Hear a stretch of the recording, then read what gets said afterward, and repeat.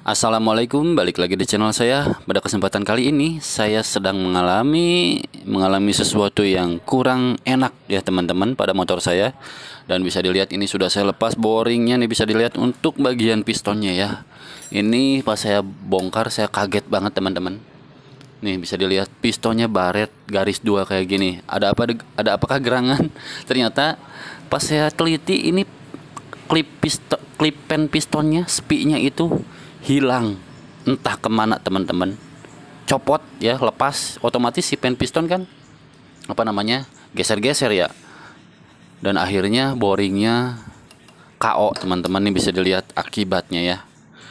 Aduh ini baru ketahuan setelah saya mendengar bunyi yang memang gak biasa. Nah ini dia ya untuk boringnya. Nih bisa dilihat. Parah bener teman-teman. Luar biasa. Nih ini boring padahal masih lumayan bagus sih ya teman-teman. Tuh masih bisa dipakai masih oke okay lah lumayan. Nih tapi ini udah ada garis dua di sini.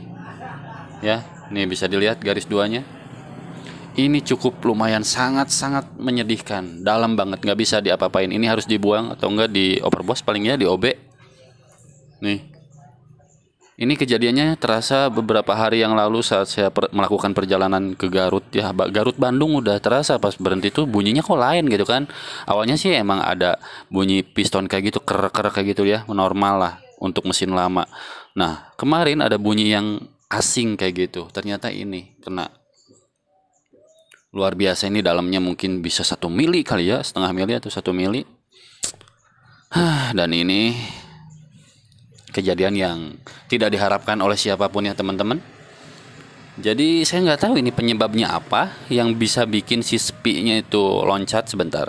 Saya ambil contohnya ya. Nah ini ada spi baru nih teman-teman. Nah kayak gini nih. Sebentar. Nah si spi ini tuh loncat hilang nggak tahu ke mana hilangnya kegerus kali ya patah atau masuk ke kerengkes. Nah spinya ini yang hilang dan ini sangat fatal ya otomatis langsung rusak ya. Dan alhamdulillahnya masih bersyukur saat dipakai NR semalam itu mesin masih bisa kenceng anehnya itu ya. Tapi alhamdulillah nggak sampai ngejim teman-teman. Kalau sampai ngejim wah lo bisa bisa nggak tahu lah ya kayak gimana. Bisa mogok segala macam. Dan kompresi alhamdulillah nggak sampai bocor waktu itu ya dan ini pagi hari saya curiga pengen bongkar ternyata. Aduh menyedihkan banget ya boringnya. Pantesan ini bunyinya itu udah tidak khas lagi aneh-aneh bunyinya. Dan ini sudah di porting juga nih untuk port exhaustnya teman-teman. Hah, jadi kayak gini ya teman-teman. Kejadiannya sangat memilukan untuk si boringannya. Dan ini si pistonnya juga nggak bisa dipakai lagi ya teman-teman. Karena ausnya itu aus parah banget ya ausnya.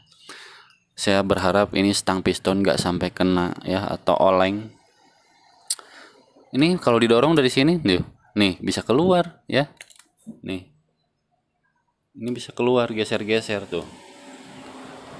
Karena hilang dan akhirnya tapi larinya nggak tahu ke mana yang pasti pasti ke bawah sini ya harus belah mesin ya. Kalau untuk mau memastikan uh, apa namanya dikeluarin gitu si potongannya atau patahannya kalau memang patah ya. Tapi ini kayaknya si si spinya sempat keluar terus ke gerut karena ada bekas di dalam sini nih. Sebentar. Nah ada bekas membekas banget uh, apa namanya? Nah si spinya itu eh sebentar. Nah bisa dilihat teman-teman ini membekas banget ya ada bekas. Ya mudah-mudahan dia larinya ke port buang gitu ya.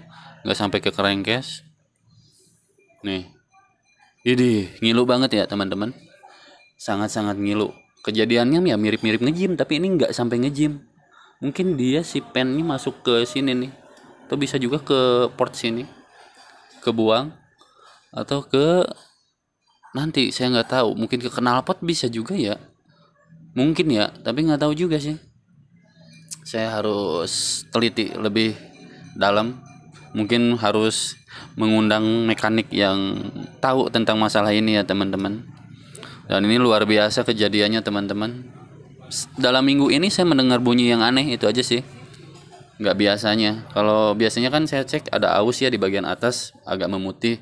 Biasanya ada bunyi ker ker kayak gitu tanda pistonnya aus. Tapi kalau eh pistonnya boringnya ya bagian atas dan itu lumrah untuk motor lama dan ini kejadiannya untung nggak saya pakai lagi. Tadi pagi feeling saya udah nggak bagus saya pengen buka coba cek ternyata kejadiannya kayak gini teman-teman.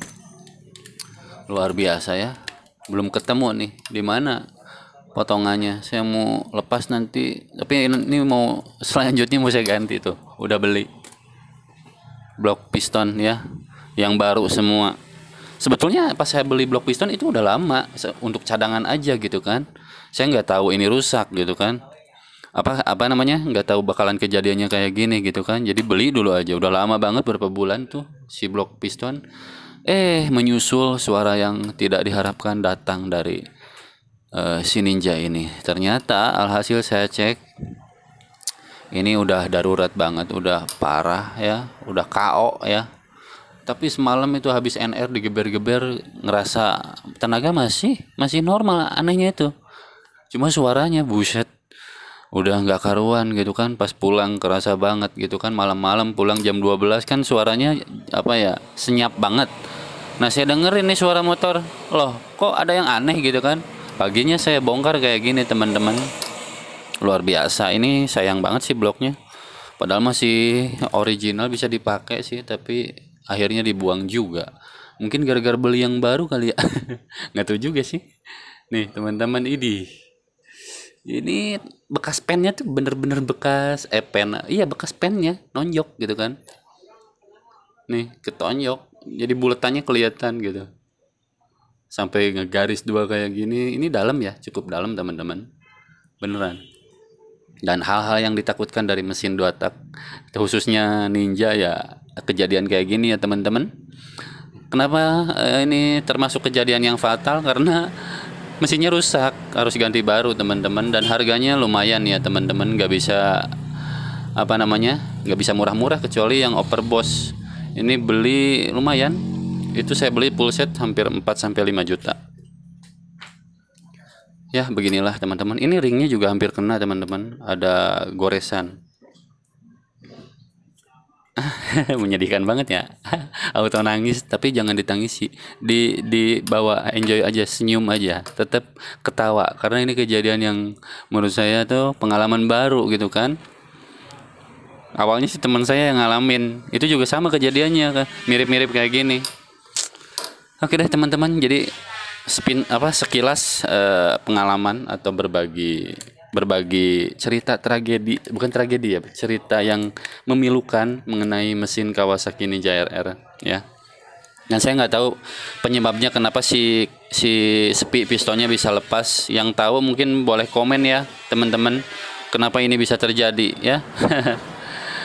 Oke teman-teman uh, mungkin video singkat cuma segitu aja. Ini berisik banget lagi ada yang renovasi ya. Oke mudah-mudahan uh, jadi pelajaran buat kita semua ya tentang apa namanya dengan kejadian ini mungkin teman-teman bisa lebih intens untuk mengecek uh, mesinnya ya Oke, terima kasih buat yang udah nyimak, yang udah nontonin. Jangan lupa like and subscribe. Assalamualaikum.